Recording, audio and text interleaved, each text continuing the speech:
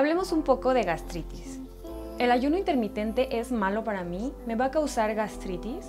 La respuesta a esto es no.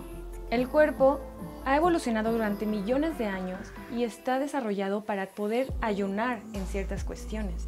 Hoy en día estamos un poco mal acostumbrados o tenemos una errónea idea de que no debemos dejar el estómago vacío en las mañanas. ¿Por qué? Porque si no, no vamos a tener energía o no vamos a pensar bien. Además de ello, tenemos un mal concepto de la gastritis. ¿Qué es la gastritis? La gastritis es una infección por una bacteria que se llama Helicobacter pylori. La gastritis únicamente se puede diagnosticar mediante biopsia o mediante un laboratorio que se llama ureasa. Entonces, ¿por qué me arde el estómago? ¿Qué es lo que estoy sintiendo? Bueno, nosotros tenemos algo que se llama esfínter esofágico inferior, que esta es la conexión entre el esófago y el estómago. ¿Qué ocurre ahí?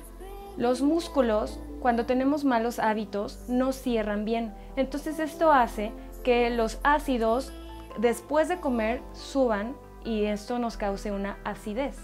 Entonces, la enfermedad por reflujo gastroesofágico lo que nos causa es acidez estomacal o acidez en todo el tracto, nos puede causar un sabor amargo o muchas otras sintomatologías, pero esto es debido únicamente a que el esfínter no cierra correctamente.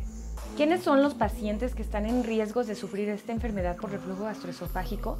Bueno, entre muchos otros, los pacientes que tienen obesidad, los pacientes con tabaquismo crónico, alcoholismo crónico, incluso las pacientes embarazadas y los pacientes que tengan unos malos hábitos alimenticios.